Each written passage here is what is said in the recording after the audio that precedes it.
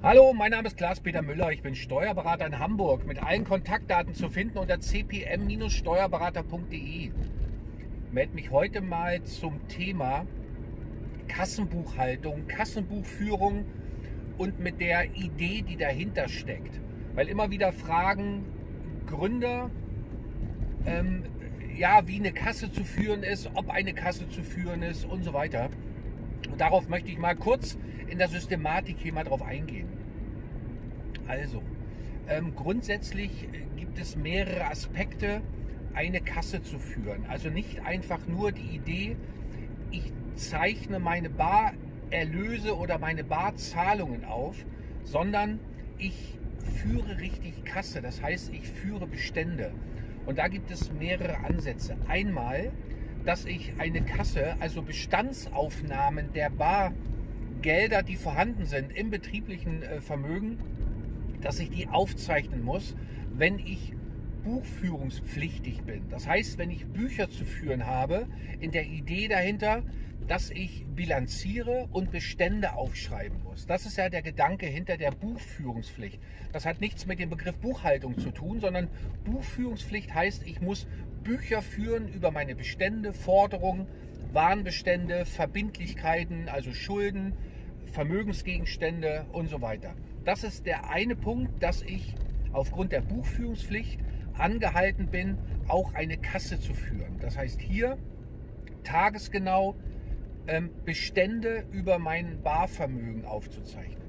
Zum anderen gibt es die Idee dahinter, ich komme dann nachher in der, in der Systematik mal äh, näher auf diese Einzelheiten hinzu, gibt es die Idee, dass ich grundsätzlich für mich freiwillig eine Kasse führen muss. Das heißt, wenn ich Einnahmeüberschussrechner bin, das heißt nur mein Gewinn ermittle nicht nach Bilanz, sondern nach Einnahmenüberschussrechnung, brauche ich ja keine Bestände aufzeichnen. Das heißt, ich brauche auch keine Kasse führen. Ich brauche nicht Tagesendbestände aufzeichnen über mein Barvermögen, sondern ich möchte es trotzdem freiwillig tun. Das ist der zweite Aspekt, aus welchem Grund auch immer, dass ich mehr Übersicht erhalte in meinem Unternehmen, dass ich mehr Übersicht habe, was passiert bar, ähm, wenn ich viele Mitarbeiter sozusagen beschäftige, die mit meinen mit Bargeldern zu tun haben, die die Kasse führen, dass ich hier mehr Kontrolle habe. Also der Aspekt spielt da auch noch mit rein. Und jetzt muss man schauen, wenn ich eine Kasse führe, dann muss ich auch alle Formalien erfüllen für das Führen einer Kasse. Das heißt, nur weil ich freiwillig eine Kasse führe, heißt das noch lange nicht, dass ich dann labidarer damit umgehen kann, weil ich es ja eigentlich nicht müsste. Ich mache es freiwillig, also sind Fehler darin auch egal, weil ich es ja freiwillig mache. Das Argument zieht so nicht. Das heißt, wenn ich eine Kasse führe, dann muss ich alle Formalien erfüllen. So, und das ist der Gedanke, den man sich am Anfang stellen sollte, gerade bei Gründern, die eben mit Einnahmenüberschussrechnung anfangen. Brauche ich das überhaupt? Will ich mich der Verpflichtung unterwerfen, richtig ernsthaft eine ordnungsgemäße Kasse zu führen, weil die sehr fehleranfällig ist, weil eine Kasse alle Barvorgänge, die tagesweise passieren, ich einzeln aufzuzeichnen habe. Das ist die, die Aussage einer Kasse. Das heißt, ich führe die Bestände, die Endbestände des Vortages führe ich fort und rechne dann immer weiter. Meine Tageseinnahmen, meine Bareinnahmen muss ich aufzeichnen. Alle Ausgaben, die ich einzeln tätige im Unternehmen, müssen einzeln dargestellt werden. Bei den Einnahmen eventuell die Möglichkeit, dass ich hier Sachen zusammenfasse und über eine Anlage dann darstelle, wie komme ich auf die Zusammenfassung. Ne, wenn ich Z-Bonds zum Beispiel habe und die tagesweise aufzeichne und habe am Tag 2367,15 Euro Bareinnahme, muss ich natürlich im Hintergrund darstellen können, wie komme ich auf diese Summe. Das muss ich machen. Aber tagesgenau muss ich meine Salden ermitteln. Das heißt, meine Tageseinnahmen und meine Ausgaben eintragen, dass ich am Tagesende genau den Saldo habe. Meine Entnahmen, die ich privat tätige, muss ich aufzeichnen. Meine Einlagen, die ich aus dem Privatvermögen in die Kasse einzahle. Wenn ich mein privates Portemonnaie leer mache und mein Kleingeld da reinschmeiße in die Kasse, muss ich alles aufzeichnen. Wenn ich die Einzahlung in die Bank darstellen möchte, muss ich es aus der Kasse herausnehmen und in die Bank dann einzahlen, dass dieser Geldfluss dargestellt wird. Das ist die Vorgabe für eine Kasse. Wenn ich das nicht muss, weil ich nicht bilanziere, bleibe ich ja trotzdem hängen auf der Darstellung, wie zeichne ich meine Barvorgänge auf. Wir hatten schon mal ein Video gemacht zur ordnungsgemäßen Buchhaltung, dass es eben da nicht nur darum geht, in der Buchhaltung alle Belege irgendwie zu erfassen, sondern die wirtschaftlichen Vorgänge zu erfassen. Und dazu zählt eben auch die Darstellung, dass ich, wenn ich Bareinnahmen habe, Barerlöse habe, dass ich die auch darstelle, habe ich die bar bekommen oder habe ich die per Überweisung bekommen der Trend geht immer mehr hin zur, zur unbaren Zahlung. Das macht die Kassenbuchführung ein bisschen einfacher, aber nichtsdestotrotz geschehen ja doch immer noch mal Barzahlungen, die eben auch so dargestellt werden müssen. Das heißt, wenn ich mich jetzt entschließe, ich brauche keine Kasse führen und tue dies auch nicht, muss ich trotzdem alle Vorgänge darstellen, dass sie bar geflossen sind oder eben unbar geflossen sind. Das heißt, ich habe zumindest eine Aufzeichnung zu führen über die Vorgänge, die eben mit Bargeld erfolgt sind. Auch hier wieder der Vorsatz oder der, der, der Vorgang oder die Vorgabe, alle Erlöse einzeln, dass ich alle Erlöse aufzeichne und sage, den Erlös habe ich bar bekommen, den Erlös habe ich bar bekommen.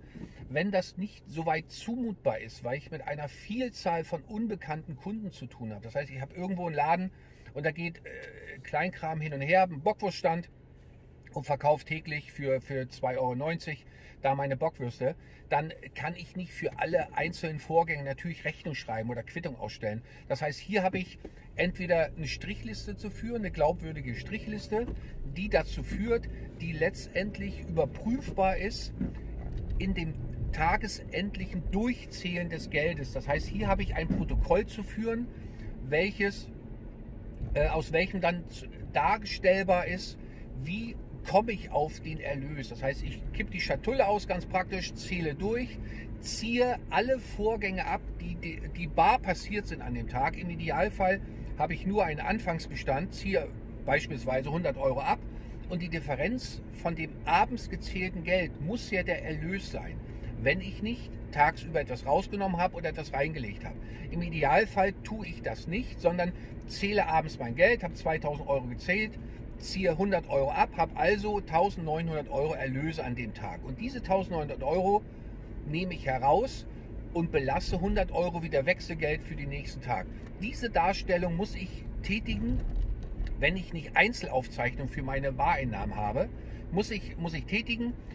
Datum, Unterschrift runter, dass ich genau sagen kann, wer hat gezählt, wann wurde gezählt und schaffe sozusagen eine Urkunde, ne, die dann auch zählt. Das sind Formalien, die ich dann zu erfüllen habe. Und das reicht eben auch für die Aufzeichnung meiner Erlöse, wenn ich nicht Kasse führen muss, weil ich keine Endbestände aufschreiben muss. Ich muss nur darstellen, wie komme ich auf die tagesweisen Erlöse. Das ist inhaltlich ja so ein kleiner Unterschied, weil die Ausgaben, die ich eventuell tätige aus meinem privaten Portemonnaie heraus, brauche ich dort ja nicht aufzeichnen, weil diese nichts mit meinem gezählten Geld zu tun haben. Wenn ich natürlich äh, einen Lieferanten äh, habe, den ich aus diesem Erlösgeld, aus diesem Schatullengeld, sage ich mal so, bezahle und bezahle den 400 Euro, muss ich das, wenn ich das täglich gemacht habe, natürlich täglich diese, diese, diese, diese Barbezahlung wieder draufrechnen, weil die fehlen ja abends beim Zählen. Das heißt, diese Logik in dem Zählprotokoll, ähm, die muss erfüllt sein Ne, Im Idealfall passieren keine Änderungen, keine Einlagen, keine Entnahmen, sondern nur den entgezählten Betrag. Den nehme ich ins Privatvermögen raus und lasse das Wechselgeld drin. Das ist die einfachste Form der Darstellung. Aber keine Endbestände aufschreiben müssen, keine alle wirtschaftlichen Barvorgänge aufschreiben müssen, sondern einfach nur darstellen, ich habe eine Rechnung, schreibe ich drauf, bar bezahlt am so und so vierten. Das reicht. Ich brauche keinen Endbestand der Kasse nochmal. Das ist der Unterschied zur Kassenbuchführung. Bei Kassenbuchführung, wie bereits am Anfang gesagt, ich muss den Tagesendbestand ermitteln und diese Kasse muss alles Barvermögen beinhalten des, des, des Unternehmens. Wenn ich mehrere Kassen habe, habe ich das halt mehrmals zu tun, weil ich mehrere einzeln überprüfbare Stellen habe, wo ich theoretisch das Bargeld nachzählen und überprüfen können muss. Das nochmal so zur Darstellung. Kassenbuchhaltung. Also, wer diese Formalien nicht erfüllen muss, weil er nicht bilanziert, ähm, allein des, des, Handelsrechts wegen, weil, weil eine Kapitalgesellschaft ist oder weil ich einfach handelsrechtlich bilanzieren muss und auch nicht nach steuerlichen Vorschriften bilanzieren muss, weil ich bestimmte Größenordnungen überschritten habe, der wäre mein Ratschlag, sollte auch keine Kasse führen, sollte aber darauf achten, dass alle Barvorgänge auch so formell richtig aufgezeichnet sind. Weil diese Art Geldflussrechnung führt das Finanzamt durch. Die möchten nicht einfach wissen, welche Kosten sind angefallen, sind, äh, angefallen und welche Erlöse sind angefallen, sondern die möchten auch überprüfen können, sind diese bar bezahlt oder, oder unbar bezahlt. Das ist Teil und wichtiger Teil einer ordnungsgemäßen Buchhaltung ob dann Bestände, ob ich die Bank, die Geschäftsbank nur buche, indem ich die betrieblichen Vorgänge rausziehe und nur diese erfasse. Und wenn da private Vorgänge auf der Geschäftsbank passiert sind, ich die weglasse, ist theoretisch immer noch richtig, weil ich keinen ordnungsgemäßen Bankendbestand nachweisen muss als Einnahmenüberschussrechner. Wenn ich bilanziere, muss ich den exakten Bankendbestand darstellen, muss also die Bank vollständig buchen, dass ich dies auch so darstellen kann, nachprüfbar fürs Finanzamt. Ne? Bei der Bank ist das eigentlich grundsätzlich immer so, dass die Geschäftsbank komplett gebucht wird. Ob man es jetzt machen müsste als Einnahmenüberschussrechnung oder nicht, sei mal dahingestellt. Aber um die Kontrolle zu haben, dass alle Vorgänge, die betrieblich erfasst sind, und das sind wohl die meisten, die jetzt äh, über die Bank laufen, dass die auch wirklich sicher überprüfbar erfasst sind.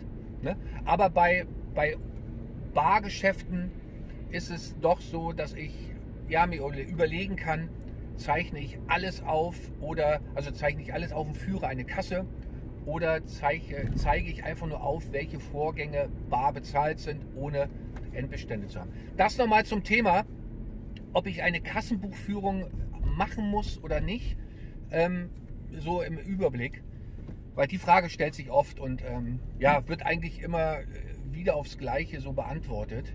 Ähm, aber äh, mit einer ordnungsgemäßen Kasse, mit also einer durchgängig geführten Kasse mit Endbeständen, besteht natürlich die Kontrolle ähm, über die, die Barbestände verstärkt. Ähm, gerade wenn, wenn viel Bargeld passiert, möchte man natürlich auch den Überblick behalten, dass nichts verloren geht, dass eventuell Kosten vergessen wurden, weil, ne, weil die Ausgaben dann eventuell nicht erfasst wurden, weil die Belege dann verloren gegangen sind. Aber wenn ich abends die Kasse durchzählen muss, merke ich schon, wenn Geld fehlt, ähm, dass ähm, ja, entweder Kosten fehlen oder ja, jemand anders hat sich an der Kasse bedient. Das heißt, die, die Kontrolle ist natürlich sehr stark ähm, stärker. Nicht schön ausgedrückt, aber ähm, man versteht, was ich meine. Ähm, ja, das zum Thema Überblick über das System. Wann führe ich eine Kasse, wann nicht? Ähm, Bilanzierer sowieso, Einnahmenüberschussrechner freiwillig. Sollte man sich überlegen, ähm, aber zur Überblick, zur Übersicht und zum besseren Überblick sollte man dann eine ordnungsgemäße Kasse führen. Verstärkte Vorschriften, die ich freiwillig einhalte, führen auch dazu, dass ich sie einhalten muss. Das nochmal so als Vorgabe. Ähm, ja, das zu diesem Thema. Wen das Tele äh, Thema interessiert, einfach ähm, Termin vereinbaren. Wir besprechen das ganz gern. Und ähm, ansonsten sehen wir uns auch auf den anderen Kanälen wie diesem YouTube, äh, Facebook, Twitter, Instagram. Wem der Kanal gefällt, Abo dalassen. Ansonsten, wem das Video gefallen hat, Daumen hoch. Wen das Video zu interessieren hat, teilen. Ja, und ansonsten zu weiteren Themen auf diesem Kanal. Bis dahin, tschüss.